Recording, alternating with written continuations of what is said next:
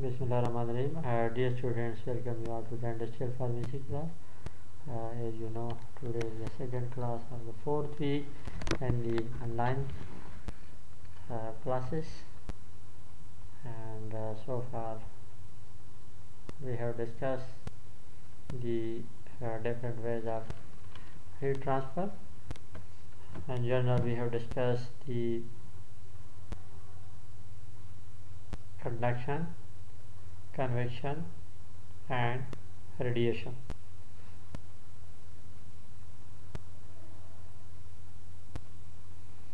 Today uh, we will discuss the heat transfer by conduction and we will explain heat transfer by the process of conduction uh, that is uh, using the example of laboratory water bath and uh, other topics related to the conduction. That is uh, conduction governed by a law and that is termed as Fourier law and we will explain the Fourier laws and moreover uh, the final session the thermal conductivity.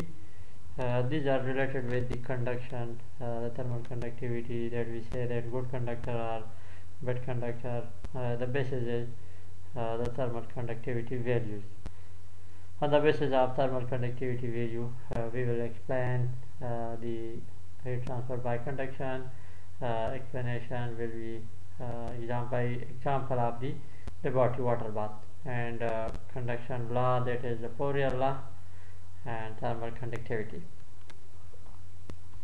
Dear student, the main objectives of today's lecture is to learn about heat transfer by conduction and uh, explanation by example of laboratory water bath, Fourier laws explanation and thermal conductivity.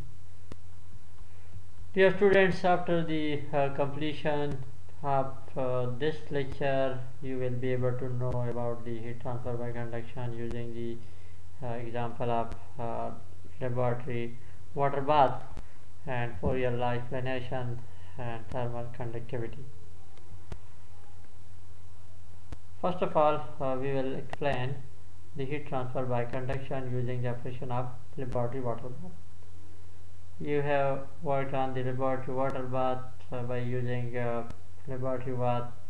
You have prepared in the previous classes and the practical the ointment, cream, and uh, their uh, melting of the solid material in the formula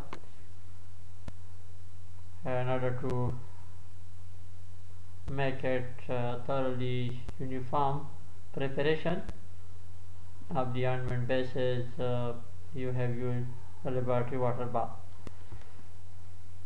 heat energy from the gas burner or any other source is transferred to the container wall to the water in the bath which therefore increases in temperature until its boiling point is reached. The heat gained in this case before the boiling point is reached is termed as sensible heat.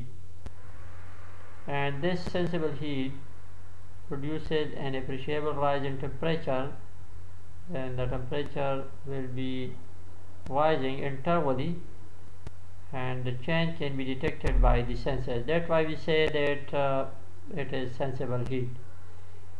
Because it produces uh, appreciable rise in temperature and uh, before the boiling point reach the temperature will be increased. After the boiling point uh, the material or the solvent will be evaporated. You can see uh, the diagram of the laboratory water bath and the contents in the dish. Uh, gas burner uh, heat is provided by the gas burner or any source or any other source of the uh, heating and the water will be converted into steam after boiling point is reached and uh, one of the dish and uh, dish containing the contents. And uh, the steam is considered with that particular part of the dish and that particular steam will be uh, will have to pass this area uh, the dish wall and then uh, to cross this barrier the content of the dish will be uh, warm up and uh, heating up and will be melted. When the boiling point uh, has been reached further heating generates steam without any increase in temperature. This heat gained by the steam is termed as latent heat of evaporation uh, first one uh, we have termed it as the sensible heat before the boiling point reach and the case after the boiling point reach after the boiling point reaching further heating will produce steam. And the temperature will be not increased uh, and this heat gained is from the latent heat of evaporation. And uh, this uh, latent heat of evaporation is used to change the water that is in the liquid state from the liquid into the vapor state at constant temperature. If the temperature is uh, kept constant uh, then the liquid state water is converted into the vapor state. The steam produces uh, rises in this case. The steam produces after the boiling point of the water reach and the steam is uh, water liquid is converted into the vapor that is steam. And uh, the steam produces rises and contact the dish wall. And this uh, dish wall in the figure for number one you can see uh, then it is in coincidence with the dish wall. After the generation of the steam that steam in touch with the dish wall which initially is at room temperature and the steam condenses on the cool outer surface of the dish and doing so gives up the latent heat it contains. Forming a layer of condensate on the dish which runs down over the surface and drops back into the bath. Fresh condensate is uh, continuously formed to take its place so that a layer of condensate will always be present. The latent heat that is liberated passes by conduction to the wall of the dish and into the content to be heated. The wall of the dish is solid content and uh, the heat transfer by the process of conduction will definitely depend upon the different factors uh, like the dish wall, the length of the dish and heat is then transferred to the fluid or the content uh, within the particular dish after crossing the dish wall by natural convection and conduction. The steam function uh, as a heat transfer agent whereas the heat from the gas burner is transferred by the liberation of the latent heat into the liquid in the dish. Now what are the advantages of the uh, this type of the indirect heat because it is not directly supplied and uh, the heat is supplied through the water bath and uh, the water is converted into the liquid after the melting point after the boiling point reach and the liquid water is converted into the steam and uh, that steam is further crossing the barrier that is the dish wall and uh, then again indirectly heat up the contents uh, in dish. There are several advantages of this indirect heat. The first one is the temperature can never exceed 100 degrees centigrade at atmospheric pressure. Remember that at atmospheric pressure the temperature will be never exceed 100 degrees centigrade. The second advantage is there are less chance of localized overheating of the contents in the dish because uh, the indirect way uh, will never allow to localize overheating. And the third one is the steam circulates over the whole dish surface uh, you can see uh, then the steam in this case the steam will be uh, not targeted in any particular area it will be circulated over this uh, this area exposed to the steam.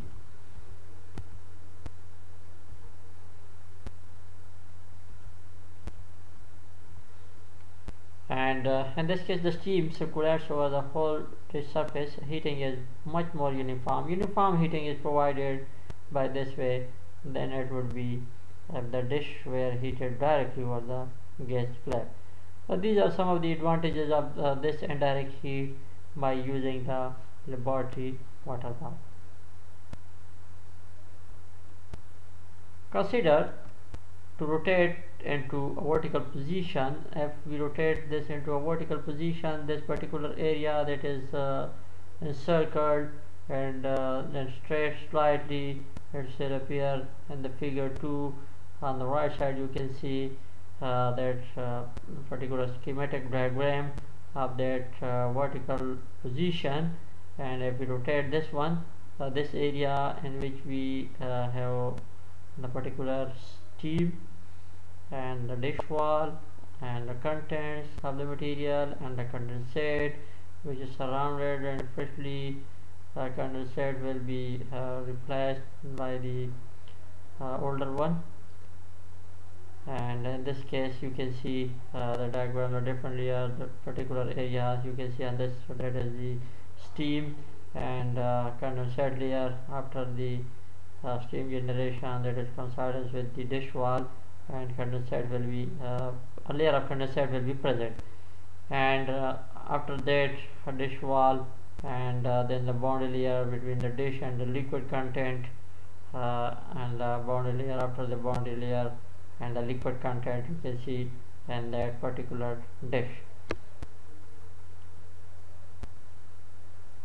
If we enlarge and uh, vertical rotate uh, vertical position and stretch it slightly uh, and uh, this diagram is uh, if you understand this one uh, then you can easily prepare this one that after steam condensate layer and dish wall and uh, layer between the liquid and the dish and uh, again inside one that is the liquid. A temperature drop occurs from the temperature of the condensing steam to the lower temperature of the liquid in the dish. If this liquid is assumed to be a lower boiling point than water, then eventually it will boil at this lower constant temperature because of the low melting point it will boil and the temperature gradient should be appear as in figure 2 you can see in figure 2 that is the first one that is the temperature of the steam and that is uh, T naught and that is the boundary layers and T1 and TL uh, we will discuss that what is meant by the TH and what is meant by the uh, TL, T naught and TY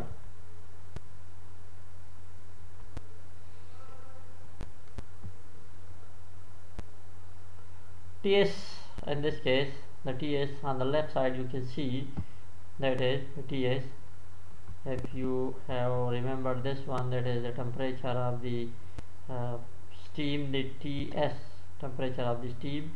And uh, then after TS you can see that is the T naught that is the TS the temperature of the steam. And uh, the T naught and the second one that is the uh, temperature of the inner surfaces of the uh, dish. TS uh, denotes the uh, steam temperature, TL is the temperature of the boiling liquid, liquid that is boiled in that particular dish and T naught and Ti are the temperature of the outer and inner surface uh, that is outer surface of the dish and uh, Ti that is the inner surface of the dish.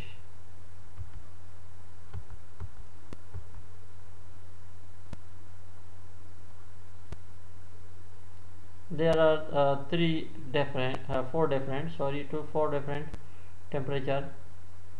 First one is TS T naught TI and TL TS the temperature of the steam, Ti of the outer surface, and Ti the inner surface of the dish, and TL is the temperature of the liquid.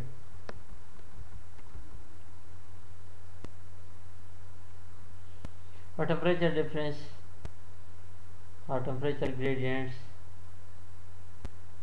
is there. Now it is important to know or control the rate of heat transfer. And many pharmaceutical processes, it is important to know or control the rate. Uh, rate is related with the time. That in unit time, how much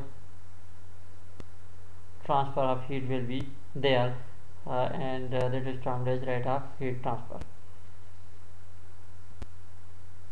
it is uh, very much important to know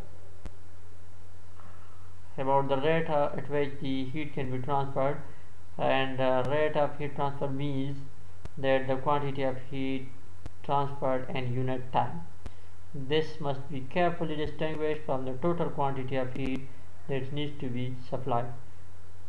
Total quantity of heat that needs to be supplied is something else and the rate of heat transfer is something else. Consider heating a beaker of water using a Bunsen burner flame under a low flame. If we supply a low flame it might take 20 minutes to boil. Whereas using a full flame. If we increase the intensity of the flame it may only take only 5 minutes. The rates of the heat transfer will be in definitely increase because the at full flame it will take uh, less time but at low flame it take longer time. Initially we will consider the factor that affect heat transfer through a single layer of material. In this case in the example of the laboratory water bath in this case the heat transfer through a single layer of material and the material in this case is dish wall now we will discuss uh, one of the law that is Fourier law uh, that is uh, conduction is governed by a law that is Fourier law which states that the rate of conduction is proportional to the area measured normal to the direction of heat flow and to the temperature gradient in the direction of heat flow. That is the statement of the Fourier law. It means that the rate of conduction is proportional to the area if we increase the area then the rate of conduction will be more. And uh, temperature gradient and the direction of heat flow. The rate of heat transfer means the quantity of heat transferred that is designated by capital Q and uh, units used are joules and unit time that is uh, t second small t is used for the time while capital T is used for the temperature. The rate of heat transfer that is the quantity of heat transferred in unit time will therefore depend upon the difference in temperature. That is delta T or T naught minus T1 uh, in this case uh, that we have studied that is uh, T naught and T1 the inner and the outer surface of the outer surfaces of the dish. The driving force for the heat transfer process is the temperature gradient or difference in temperature. The dish thickness in this case LD that is uh, the area available for heat transfer is also one of the factors. That is designated by capital A. These are the different factors which affect the rate of heat transfer. And we will consider these factors. That is the quantity of heat transferred, the time and then uh, these depend upon the rate of heat transfer will depend upon the temperature gradient the wall of the dish the thickness of the dish and uh, area available for heat transfer. The proportionality constant that is termed as thermal conductivity of a material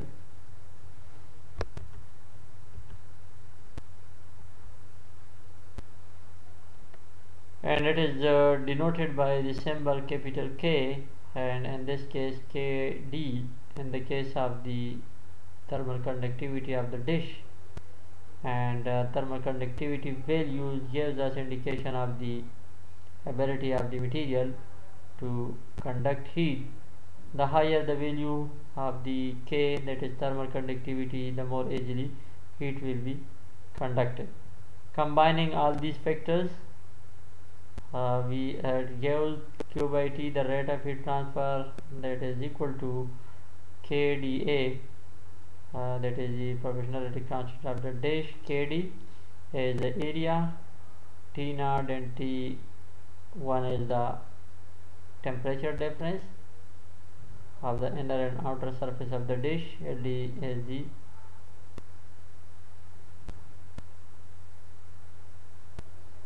thickness of the dish uh, these uh, factors after combining uh, in the form of this equation that is the rate of heat transfer designated by q by t indicate that to increase the heat transfer rate that is conduct heat more quickly through a layer of material to the value of value of a capital A delta T or KD may be increased or the value of L that may be decreased. In both cases, if we increase the value of KD, that is the thermal conductivity, that is good conductor, and the area exposed is more, and the temperature difference, that is T naught minus T1, uh, if it is increased, then uh, this result is increased then in this case the rate of heat, heat transfer will be increased. And the second case is if the thickness of the dish or the thickness of the material by which the heat is transferred by the process of conduction if it is increased then the rate of heat transfer will be increased. SI units of the thermal conductivity which is designated by the capital K in this case capital KD uh, is uh, watt per meter Kelvin. Abbreviated as W by M capital K. Watt per meter Kelvin. These are SI units of the thermal conductivity. Thermal conductivity values shows that the metals are the best conductor followed by non-metallic solid liquid and gases. It should be noted that the K values, that is the thermal conductivity values, will vary with temperature and also with the composition of the material. For example, from 13 to 19 watt per meter Kelvin in the case of stainless steel. And there are different other materials having the uh, different uh, thermal conductivity values uh, designated in the uh, SI units copper pure copper having 386 watt per meter Kelvin while the pure aluminium 204 mild steel that is 43 stainless steel typical that is 17 and glass 0.86 water at 20 degrees centigrade thermal conductivity value is 0.6 and water at 80 degrees centigrade a value of thermal conductivity is uh, 0.67 and boiler scale 0.09 to 2.3 and glass wool insulation 0.04 and air 0.03 watt per meter Kelvin. These are the different uh, material and uh, the thermal conductivity values of these uh, material during the which are used during the pharmaceutical processing. For reference you can consult Aulton Pharmaceutics, The Science of Dosage Form Design, second edition pages consulted were uh, in this Pharmaceutics Science and Dosage Form Design, second edition book, 588 to 589. Thank you all for your attention and we will discuss uh, this topic in the online live session through the Google Meet session as per the prescribed timetable. Thank you all.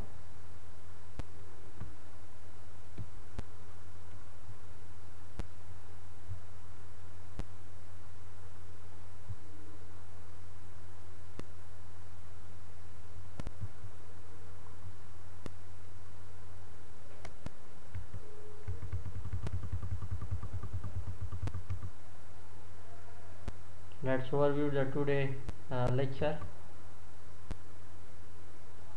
Heat transfer by conduction by explanation of using the example of the body water bath. Fourier law of conduction explanation thermal conductivity. And we have studied the sensible heat the laboratory water bath and contents in the dish we explained this figure by using the gas burner the water and then uh, before going to uh, reach the boiling point the temperature that is a sensible heat and after the boiling point reach uh, the water and liquid is converted into steam and uh, in this case the latent heat of evaporation is gained by the steam and uh, which is responsible for changing the water from the liquid and to the vapor at constant temperature.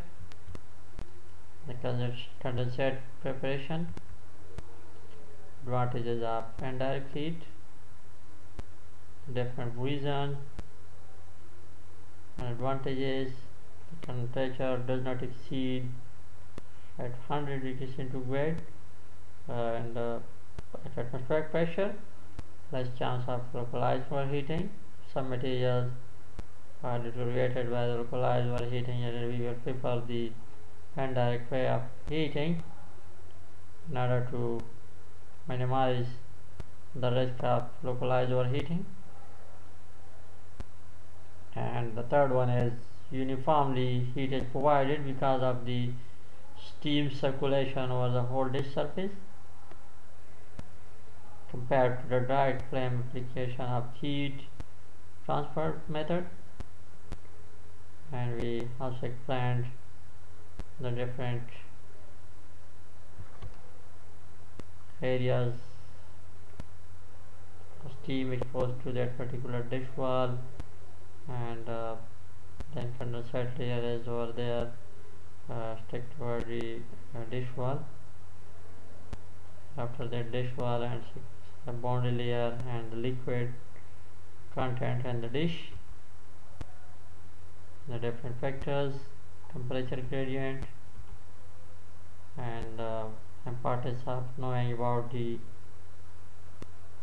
rate of heat transfer controlling the rate of heat transfer Fourier law explanation equation thermal conductivity the definition of thermal conductivity the importance SI units and the different materials encountered during pharmaceutical processing and their thermal conductivity value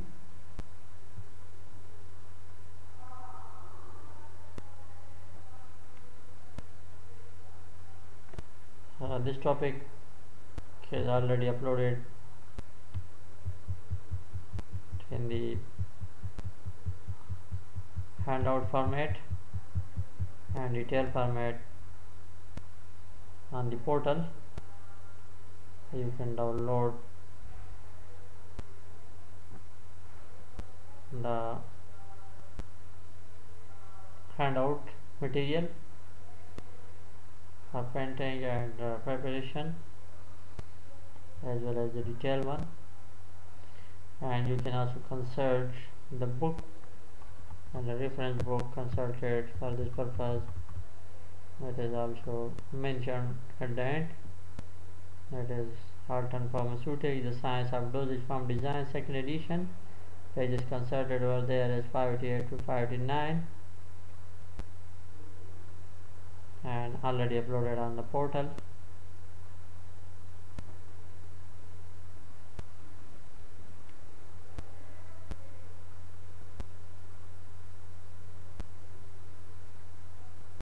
Thank you all for your attention.